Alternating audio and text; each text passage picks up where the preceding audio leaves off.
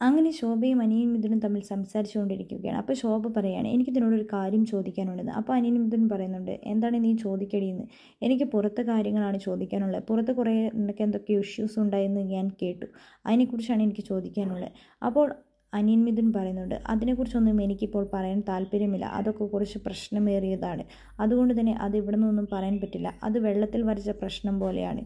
അതെല്ലാം ഞാൻ ഇനി ഫേസ് ചെയ്യണം. പുറത്തിറങ്ങിയതിന് ശേഷം എനിക്ക് എങ്ങനെ ഫേസ് ചെയ്യേണ്ടതെന്ന് നന്നായിട്ട് അറിയാം അതിനെക്കുറിച്ച് ഞാൻ ഒന്നും പറയില്ലെന്ന് ശോഭയോട് പറയുന്നുണ്ട്. ശോഭ പറയുന്നുണ്ട് എന്ത് അവളെക്കുറിച്ച് എന്തോ പറഞ്ഞു കഴിഞ്ഞപ്പോൾ അനിയൻ മിഥുൻ പെട്ടെന്ന് പറയുന്നുണ്ട്. അവളെക്കുറിച്ച് എനിക്ക് പറയാൻ പെട്ടെന്ന് തന്നെ അനിയൻ മിഥുൻ സ്റ്റക്കായി നിൽക്കുകയാണ്. ആ സമയത്ത് അനിയൻ മിഥുൻ പറയുന്നത് അതൊന്നും ഇവിടെ പറയാൻ പറ്റില്ല.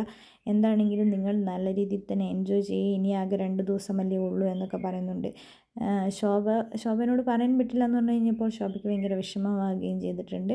എന്താണെങ്കിലും ഭയങ്കര പ്രശ്നം തന്നെയാണ് പുറത്തെ കാര്യങ്ങൾ എന്നാണ് അനിയൻ മിഥുൻ പറയുന്നത്. എന്താണെങ്കിലും അനിയൻ മിഥുൻ പുറത്തിറങ്ങിയതിന് ശേഷം അതിനെക്കുറിച്ച് സംസാരിക്കുക തന്നെ ചെയ്യും. എന്താണെങ്കിലും ശോഭയെ നീ നിന്റെ ഗെയിം ശ്രദ്ധിക്കുക എന്നാണ് പറയുന്നത്. ഇനി രണ്ട് തവണ കൂടിയേ ഉള്ളൂ ബിഗ് ബോസിന് അവസാനിക്കാൻ.